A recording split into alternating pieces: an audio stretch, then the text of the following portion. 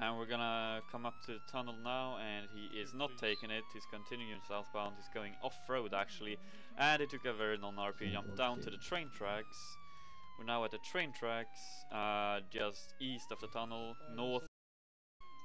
Uh, oh, jump. I'm not gonna follow this pursuit. is over. Do not follow. Okay, well I just accidentally. Well, uh, okay. That's fine. That's uh, a bit too much. Okay,